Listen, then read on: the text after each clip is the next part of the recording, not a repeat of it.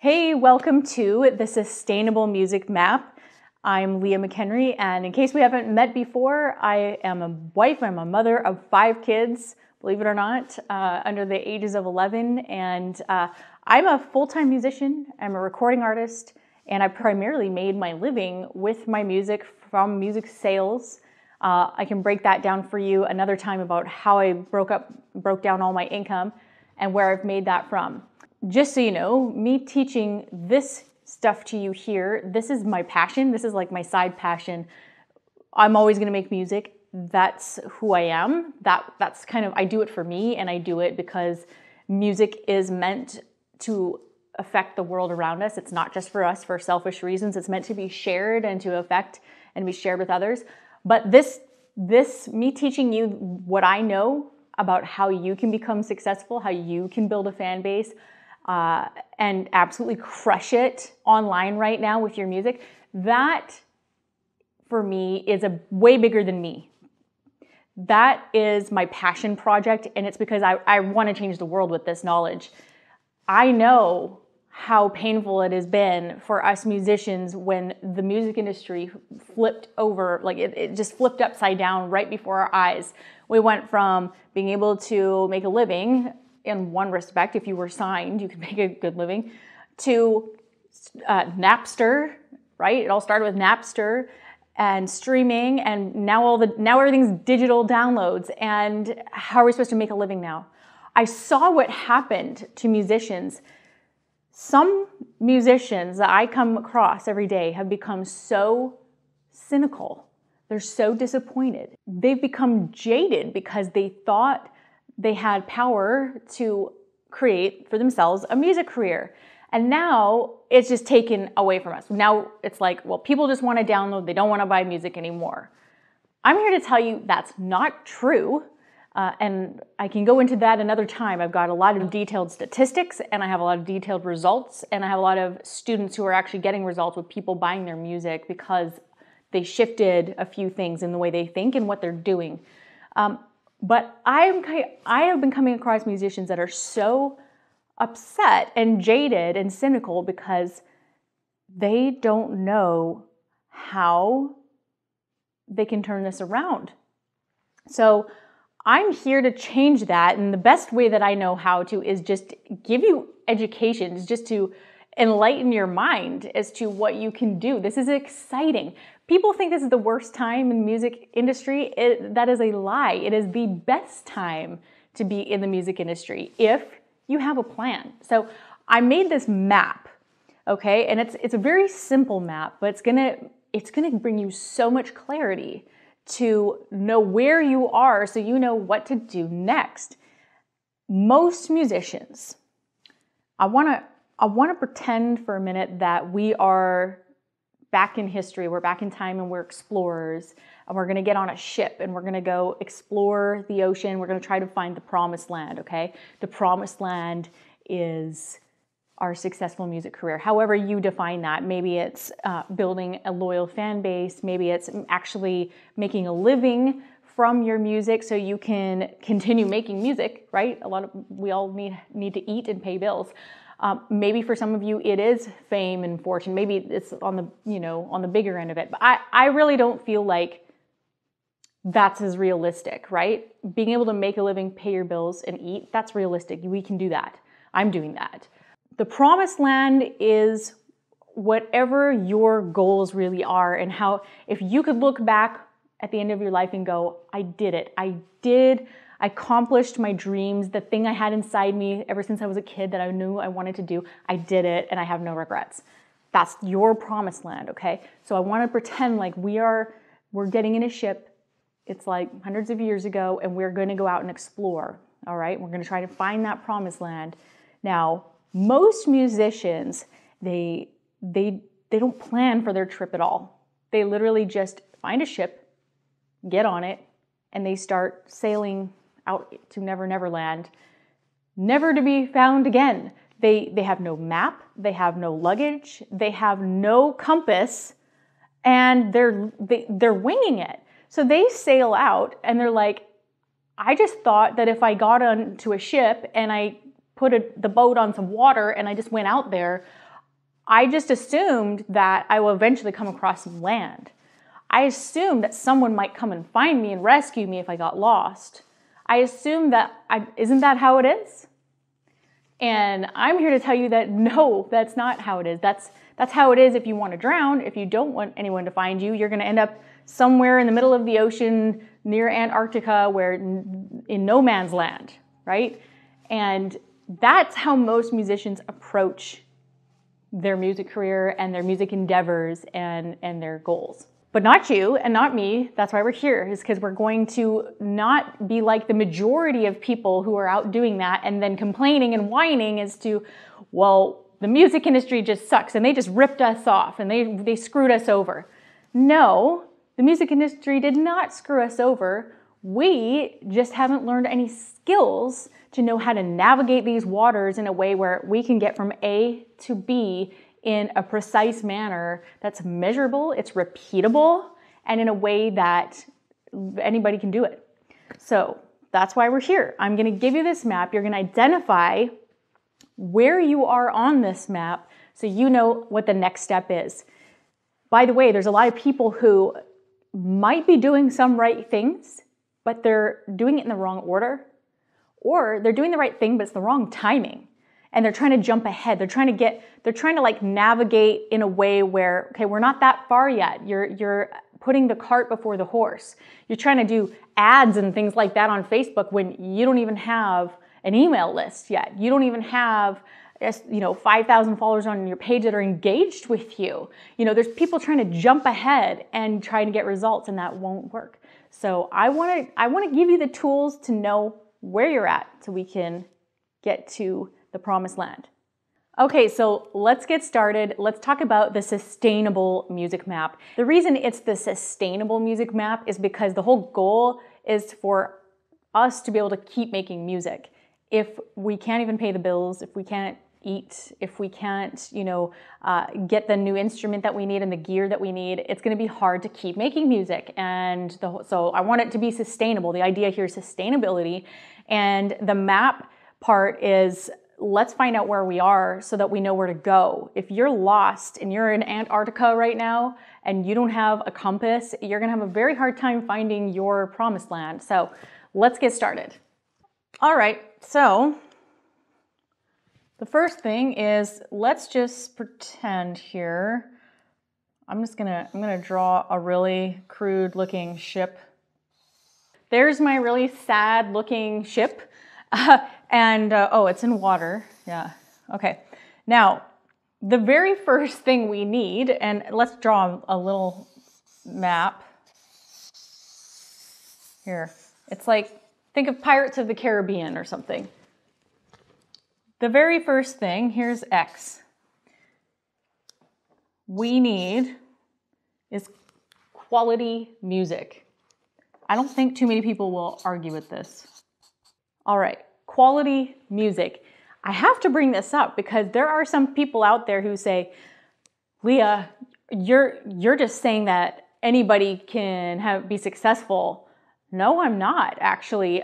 The very first rule or requirement is that you have quality music, music that people want to hear, that touches their soul, music that moves people. That's the whole point of music. So if your skill set is lacking in even creating good music, whether it's instrumental or you're just a singer or you're a lyricist or whatever you are, if your skill is lacking at that very base, this is where you're gonna start.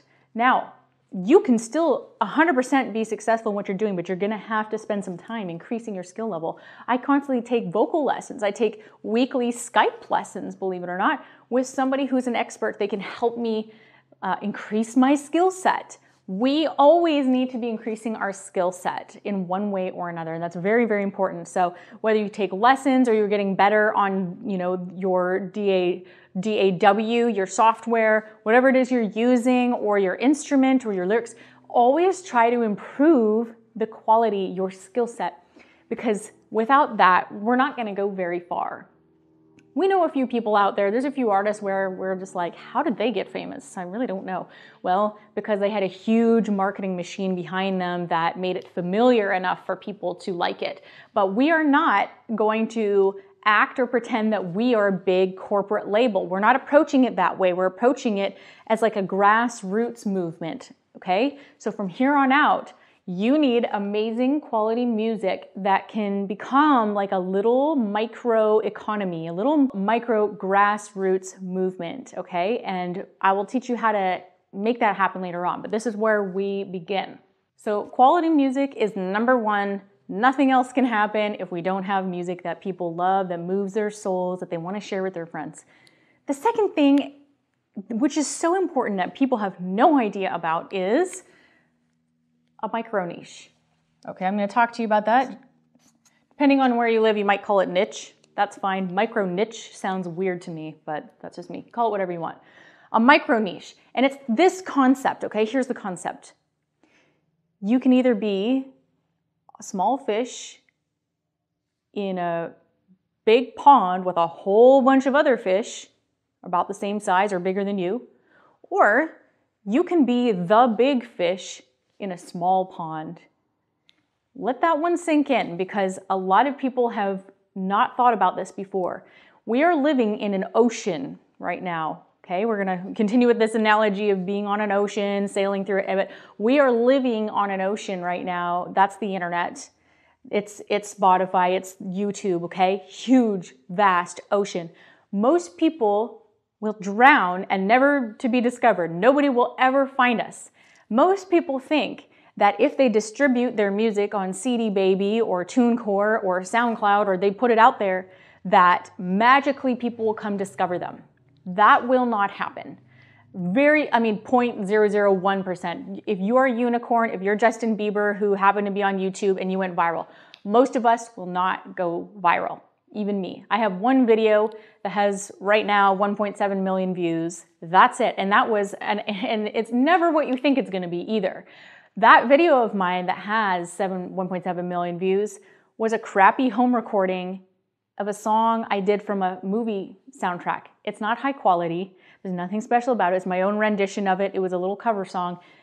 Of all the things, that went viral. My music didn't go viral. Now, what do you make of that? Well, what I make of that is that there's a lot of people searching for a particular song from a film soundtrack. And in fact, that particular little song was only about 30 seconds long in the actual movie. So my rendition is probably five and a half minutes long and I fleshed it out, right? But enough people were searching for that tiny little clip in that tiny little genre film that I, they found my song on YouTube, okay? And I did some things to to um, enhance those search results so that I would come up the very top of the search. I, there's a lot you can do with that, but I only know about that because I learned about micro niches, okay? Everything is a micro niche. If you think about video games or films, movies, everything is a micro niche. Let's use video games for a second. My son likes a Minecraft game. Maybe if you have kids, they play Minecraft. Okay, here's how you think of a micro niche. It's big to small, okay? Huge category, smaller, smaller, smaller to something very tiny. And you think, well, I'm coming, cutting out my market that way. No, you're not. You, if you want to be discoverable, if you want people to find you and not only find you, but buy from you, buy your music, you need people who are collectors and you need people who are absolutely fanatical about that little thing that you do. Um, it's not very often that people are as fanatical about big mainstream artists. Well, they are if labels are behind it because they have the the capital to push it out that way. But it's not very often that say if I'm in pop and I just say, I'm just a pop artist and I don't have any twist, I have nothing that's gonna stand out from all the other bazillion pop artists, it's gonna be very, very difficult for people to find me. Very difficult to find collector fans that are gonna be excited to, to buy my music on vinyl and, and buy my t-shirts and, and get into my fan club. Very few people can accomplish that. So with a micro niche, you've got to ask yourself, what is your twist? You've got to have something that separates you, that sets you apart. And so it's probably something that you already are, that you're already doing, that you just need to enhance more. So for me, uh, when I got into I, I, I got into heavy metal, and I wanted you know, my influences were symphonic metal bands. And so what I did was I started emphasizing my twist. My twist was that I have a little bit of Celtic influence, Celtic and world. So I, instead of using, you know, a piano, I would use a harp instead. Now all of a sudden it kind of sounds a little bit more mystical, a little bit more magical than just regular piano. So I started enhancing things. I started changing the instruments. The song stayed the same, but I would just twist it a little bit, you know? And I'd, and I'd learn how to vocally manipulate my voice to do little trills and things that sounded more Celtic than mainstream. And before you know it, people were calling me the metal Enya. If you know Enya, she's like a Celtic uh, kind of new age is what they classify her as, but she really is Celtic, uh, Irish, famous, sold however many millions and millions and millions of records around the world. Now, they're calling me the metal Enya because I added that twist. So that's my micro niche. So my top genre is metal, then it's symphonic metal. Below that, it's actually female fronted metal because um, that's its own genre. And I know it's a real genre because if you look in YouTube for it, it's uh, you can get search results that bring that up. So people are actually typing in female fronted metal. And then below that, I would say it's Celtic slash folk metal, okay? So I've gone deeper, deeper, deeper into my niche. You'll, I have a whole bunch more trainings of this, by the way. I'm not gonna spend too much time here because I have a lot to go through, but I, I really wanted to give you some meat to think about this. You need to go deeper on your micro niche. That is imperative to you getting results in this map, okay? If you already know what yours is, I would challenge you go do go type it in Google and see if it's actually a thing. Type it in YouTube and see what comes up. Type it in the Facebook search. Are there any Facebook groups titled what you think your micro niche is? If not, I would probably say that it's not a real micro niche and you're just kind of describing your music. It shouldn't be a sentence long. It should be a few words long, okay? Celtic metal, bluegrass, folk, acoustic folk or something. Okay, that's probably a real thing. If you can find a Facebook group or a fan page or you get search results in YouTube, you're on the right track. So the key is to not be too broad and you also don't want to be so specific that it doesn't exist. Okay, there's a fine line there and, and it no and by the way, you might not come up with that today. It took me like two years to figure out mine. I've kind of figured out the shortcut way in my courses to be able to narrow that down, hopefully to a couple of weeks. Some people find out they know right away and getting a lot of feedback from others. For other people, it's not going to be so easy because you're very eclectic and you have all kinds of influences and your, your music is all over the place. Uh, one thing I'll challenge you now is pick one genre and stick with it, okay? If you do five different things and you're in five different bands, you need to streamline this, okay? And you need to stick to one, one kind of music and it's like a business. If Apple came out with 100 products right out of the gate, they wouldn't sell any. They didn't start out with 100 products, they started out with one. I don't even know what the original, the, the one, the Apple computer was the one product they came out with. And they didn't expand that for years, decades maybe, I don't even know how long. They only sold one item, it was a computer, okay? And then later on, after that was very, very successful and, mo- and people knew all about it, then they expanded to other types of products. And That's the same for you with your music. Uh, you can definitely do side things and side projects and, and other genres, but not yet, not until you're successful with one, okay? Be focused. All right, the next one is once you have got your quality music and you understand your micro niche, the next thing is going to be learning how to utilize social media and free traffic. Okay, I'm gonna write this down. Okay, social media and free traffic. Basically, social media is free traffic. And most most musicians don't understand the point of social media and they're not using it in a way that's even really beneficial and I think one of the biggest mistakes I see with social media is people are using these platforms to basically spam people, okay? So they're inviting all their friends and family, come like my page, come follow me, come follow me right? And then they're uploading their music all day and they're just like promote, promote, promote, promote, promote. Right? To everybody, hoping that, again, someone will come across them or it'll go viral or something. They completely miss the point of what social media is about. And I'm going to challenge you to think about this from a view that's more focused on psychology, okay? If you get social media right, you will get all kinds of free traffic. And I don't want you thinking about using paid traffic, which we'll talk about later with Facebook ads, until you master this. Because if you don't master free traffic, you will not get good results with paid traffic. Makes sense, right?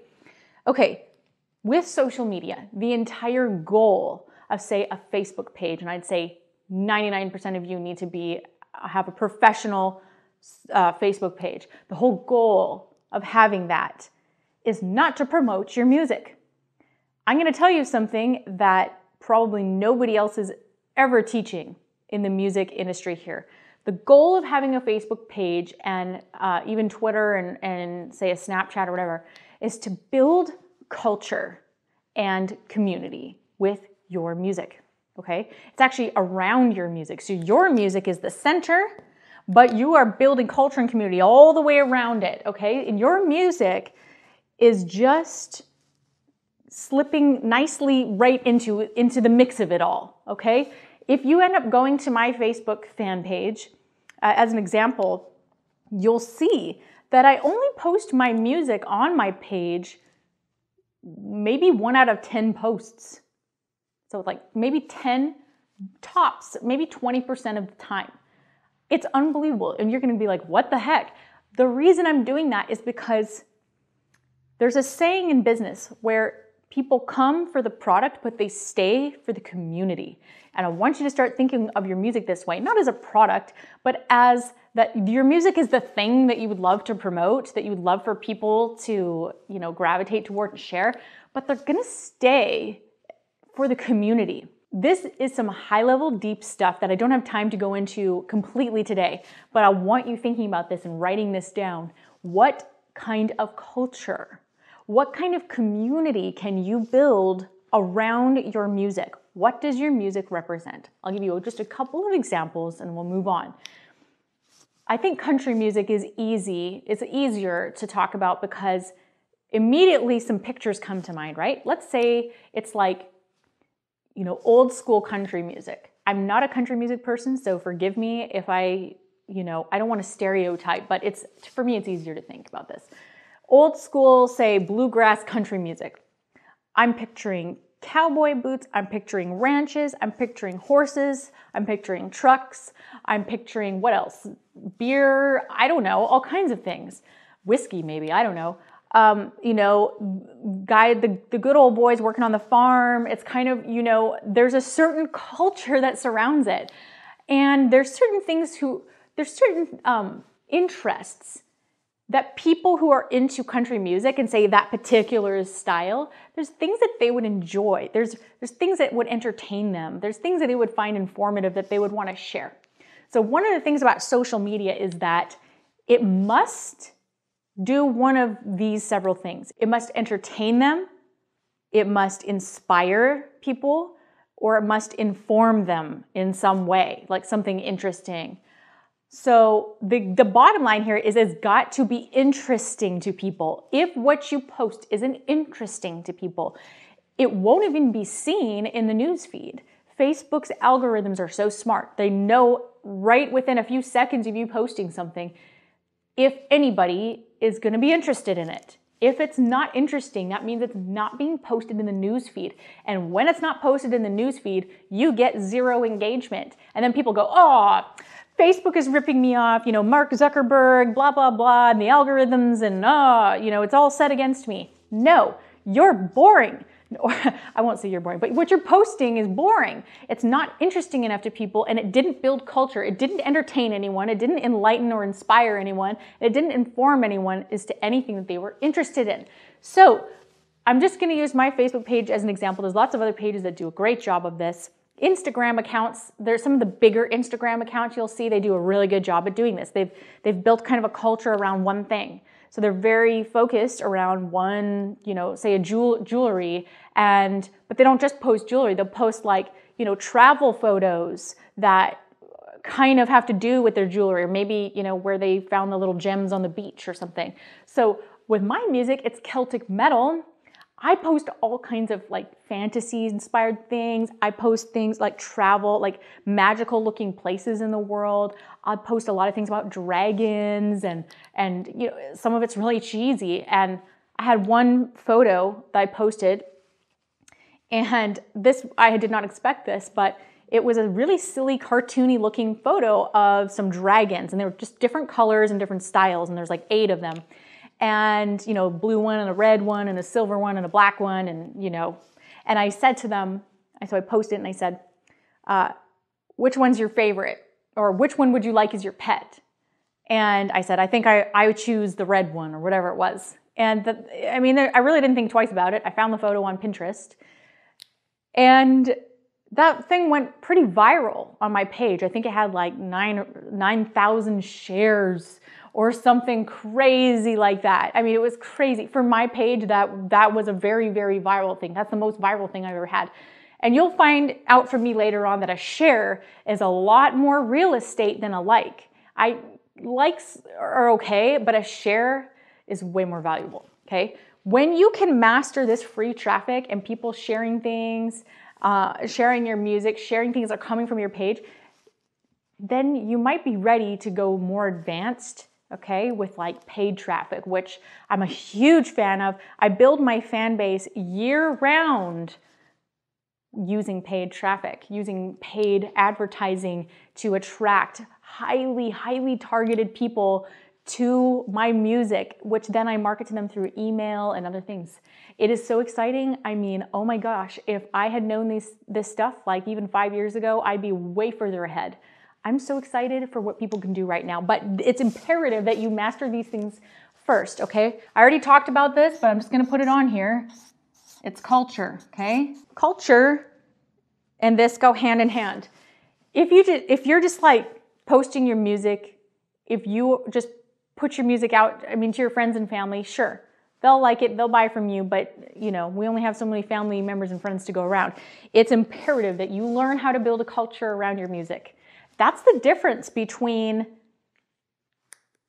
success and failure. I really do believe that that is one very big thing and that the culture is very distinctive around your micro niche too. Like I'm not just posting whatever. I really think about what I post before I post it. And I try things and experiment and not everything not everything is a winner. And you go, oh, I thought that, I thought for sure that photo would get 100 shares and it only got two. Okay, all right, I learned something. Okay, cool. And, and, and it's just a series of tests and a series of experiments. And with the creative mind that you have, it's all part of the fun, I think. Along when, when you have got some of these things down, I'm gonna put on here branding, okay? I'm to tell you something very important that I learned. Branding is not your logo. Branding is not your face. Well, it could be. Branding is who you are. It's you, the music itself. All of these things, the quality of the music, the micro niche, what you're posting in your social media and the culture you represent, it needs to be congruent.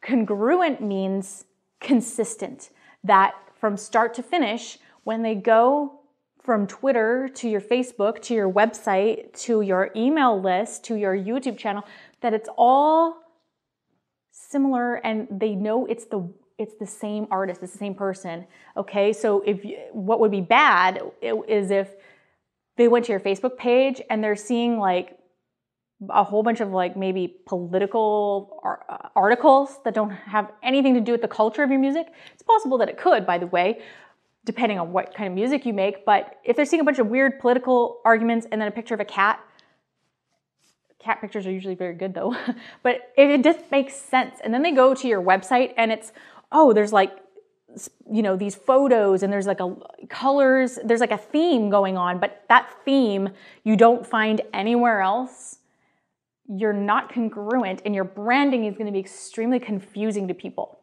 So, something I'm really working on for me is consistency and congruency between all of these different things, that it all makes sense and that I'm not confusing people by having radically different looking things. Even my, my album cover art, every, each one of the covers looks very different, different colors, different photos, but there's a theme going on. So you can tell this is the same artist. I kind of don't like it when I see bands where like the first album is like a cartoon looking picture and then the second one is a very serious photograph. I'm just like, is this the same band? I don't know. It doesn't look like the same person.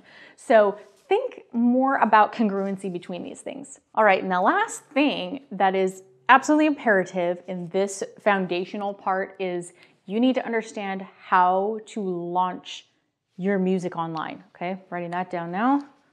And this is probably one of the bigger ones. You could do what I did, which was essentially upload my music to YouTube, all the streaming free sites I could, uh, and press publish and go, I just marketed. And then absolutely nothing happened after that. That's what most people do. They think, oh, if I'm everywhere, if I'm on Amazon, I'm on Google Play, and I'm on Spotify, and if I'm everywhere, that means everybody can find me. No, that is that's not what's going to happen. It means that nobody will find you because the question is, okay, you want to launch a song, you want to launch an album. To who? Who knows about you? Does anybody know you exist? Does anybody know that you're on the map of planet Earth? This is the biggest struggle. This is why all of these other things here matter so much because if you don't have an audience to launch your album to that are like eagerly waiting, they're salivating, can't wait for your music to come out, what's gonna happen? Nothing. Nothing will happen. Okay, maybe some random person will stumble across your music, that's great. But that's called hope marketing, where you hope people will come across you. You hope people will discover you and that something amazing, magical will happen. That is not marketing. Marketing is not putting a poster up on a wall saying, come to my gig. That's not marketing. Marketing is very strategic, it's measurable, it's repeatable, and it's scalable, meaning if it works, you can increase what you're doing and therefore increase the result. One thing to note with this, and I'm going to talk about this more in the next section here in part two, is that I actually perpetually launch my music. I am, I am always launching my music, okay? And you might be like, what do you mean? I mean that people are like, well, how do I relaunch my music? Can I relaunch old music? Yeah, you can. You can because every new person that discovers your music you just launched your music to them, okay? You've got to stop thinking in terms of what the labels used to do, which is a big, huge release party and bam, we've hit the publish button and kaboom. Oh, we're gonna, we gotta get sales in a certain amount of time frame in a little window so that we can land on a chart. Charts don't really matter anymore. Like it's nice for credibility. It doesn't really do anything for your bank account though. Like just because you end up on a chart, okay, it's like being a New York Times bestseller. Do you, do you know how you get on the New York Times bestseller list? It's not by selling millions and millions of books. It's by selling a certain quantity of books within a certain window of time. That's how you get on the New York Times bestseller list.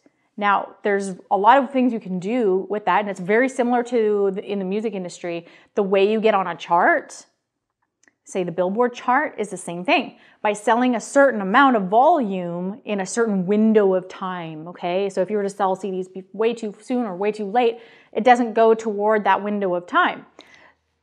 Being on a billboard chart if that's your main goal you have the wrong goals in my opinion. I mean that's fine but if you're looking to be an artist that's trying to be sustainable being on a chart doesn't really do much for you. It just doesn't. I've, I've been on the chart once, you know, in one of the indie charts.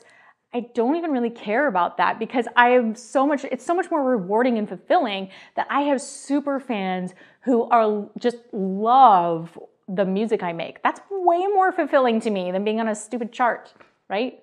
So, how to launch your music now there are specific ways and, and I, I do I do encourage you to do a professional launch and there's uh, strategic phases to doing that right. But then after that, for like an evergreen scenario, an evergreen means it's sustainable, it's on 24 hours a day. Um, we're going to talk about in that in part two. And this is the part where a lot of people jump, try to jump to the automation phase of that. And they do it in the wrong order and it's the wrong timing and they haven't got all these things in place and it's a disaster and they waste their money. So we're gonna talk about that in part two. There's not really a lot of room for me to write it, but I'll put it. This is, this whole part is the artist, the artist identity. And I don't know if it's, I have enough room, but infrastructure. Okay, sorry, got you can't really see it at the end, but we'll have it on we'll have it on the download for you, okay? This section here is the artist identity infrastructure. This is the foundation you're going to build your house on, okay? If you try to do a whole bunch of advertising and social media traffic, but your music isn't very good, well, you're not going to have a lot of success. If you uh, feel like, oh, our branding is really congruent. It looks amazing on our website or YouTube. Like if you go to cross, if you go to the different channels and platforms we're on, it looks really good. It's very consistent, but you don't know your micro niche. It's gonna be really hard to attract the fans that are already looking for your music. You're gonna be lost in the ocean. You're gonna be in Antarctica somewhere where no one can find you. If, let's say, um, you have quality music you know your micro niche, but you don't know your culture, you haven't created one, you've never thought about your culture, it's going to be difficult to launch your music and do a big launch and make good amount of money to sustain your art. All of these things are kind of interdependent. It's like a little ecosystem. And you need to kind of approach this from like a green perspective, okay? Sustainability is what we are after. All of these things are imperative and very important that you get all of them. This was part one. I hope this has been very enlightening to you. And let's continue with part two. We're going to get into some very interesting things, and this is where we are going to be going, where we're headed, okay? Once you nail down all of this, you're going to be miles ahead of all the other artists out there, and you are well on your way to having a very sustainable, very successful music career.